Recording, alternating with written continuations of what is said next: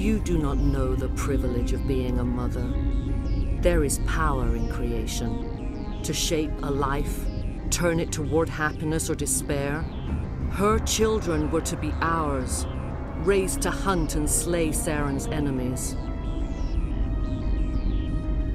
I won't be moved by sympathy, no matter who you bring into this confrontation.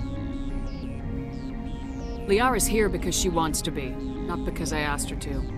Indeed. What have you told her about me, Liara? What could I say, Mother? That you're insane? Evil? Should I explain how to kill you? What could I say? Have you faced an Asari commando unit before? Few humans have.